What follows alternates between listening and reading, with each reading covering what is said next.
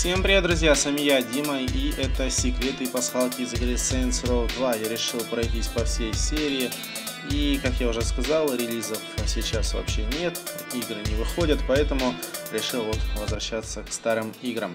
И первую пасхалку я вам уже показывал, находится она вот здесь. А, показывал я вам в топе 10 самых безумных пасхалок, потому что пасхалка реально крутая, ну и решил начать с нее. А для начала нам нужно будет найти вот такой вот остров, который я вам уже показал, где находится, и здесь будет лестница. Поднимаемся по ней и видим то, что там появляется стрелочка, которая показывает нам в каком-то направлении. Плывем туда и видим то, что здесь еще один остров есть, и также на нем стрелочка. Ну и также двигаемся по направлению.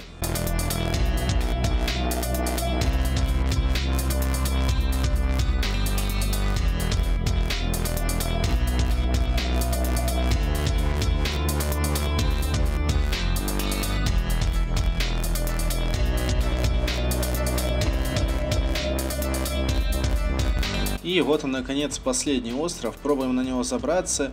И, как мы видим, он буквально под нами пропадает. И появляется до хрена стрелочек, которые показывают все одно направление. Поворачиваемся туда и видим то, что оттуда выползает такой вот здоровенный розовый кролик. Не знаю, из чего он. Но вот такая вот крутая пасхалка. Кстати, если попробовать на него забраться или стрелять по нему, то он просто исчезает.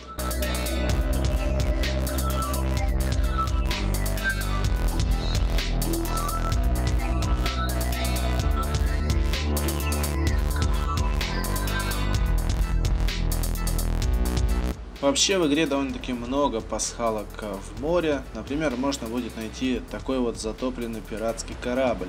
Но, к сожалению, если мы на него заберемся, то там ничего интересного не найдем. Просто такой вот затопленный корабль.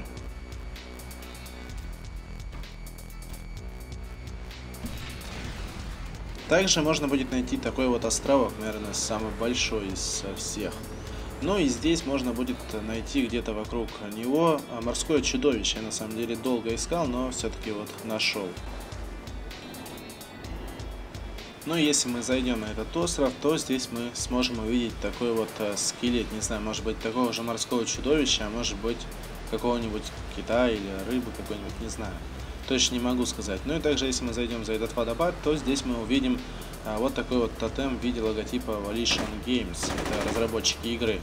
И рядом с ним еще будет стоять какой-то памятник, не знаю, может быть это какой-то римский воин или император. Ну а на этом, наверное, все морские пасхалки закончились и далее переходим в город. Э, практически, да, не практически, а во всех магазинах одежды мы сможем найти вот такие вот футболки, рубашки э, с логотипом Volition Games.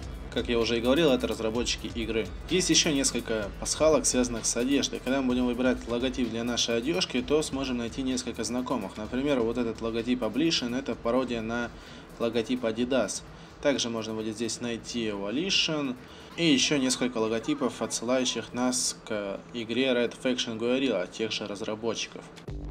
В аэропорту мы сможем найти такой вот постер авиакомпании, который называется Налитиев. Если поменять первые и последние две буквы, то получится Валишин. И, кстати, не знаю почему, но здесь на русском языке написано авиакомпания. Это русская компания.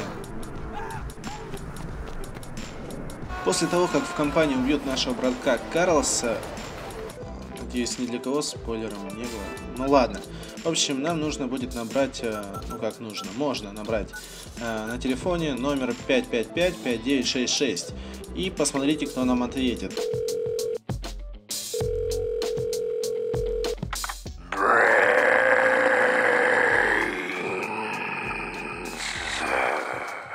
Либо это какой-то алкоголик, отмечающий свой день рождения, либо это зомби. На пляже можно будет найти одного очень интересного персонажа.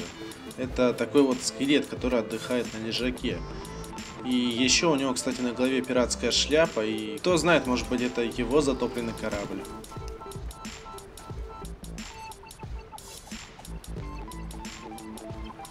На крыше одного из зданий можно будет найти одно очень интересное такое вот спрятанное помещение.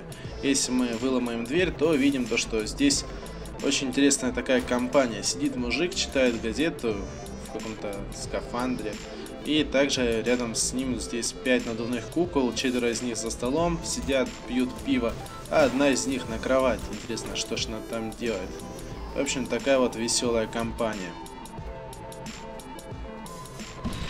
Ну а на этом все. Всем спасибо за просмотр. С вами был я, Дима. Всем удачи и всем пока. Увидимся очень скоро. Также советую вам заглянуть в плейлист с пасхалками.